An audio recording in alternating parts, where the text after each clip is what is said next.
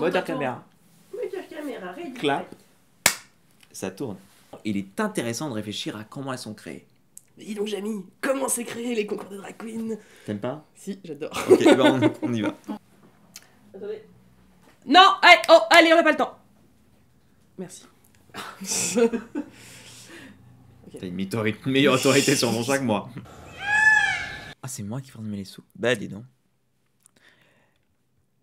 Et l'émission vous sera présentée par deux femmes qui incarnent l'âme du Great British Bake Off, son humour, sa tendresse, sa vivacité. Oh, comment on prononce ce nom de famille?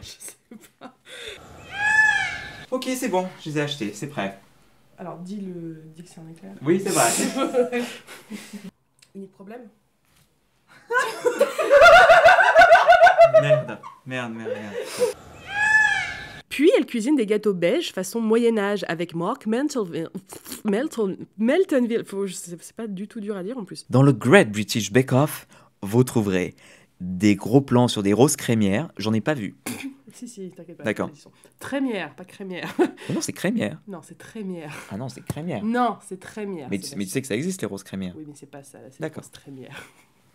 Trémière. Rose crémière.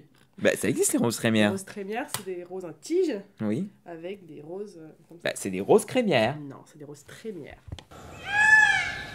Euh, sur l'enfance difficile, parce qu'on a compris l'enfant difficile. D'accord. Ça marche aussi. Sur hein. l'enfant difficile. Sur l'enfant difficile. Moi, j'avais des éclairs et elle a un enfant pas très facile. C'est fascinant que le public ait suivi parce que jusque-là, le ton des émissions à succès culinaire, c'était plutôt ça. Tu vas recommencer. Oui.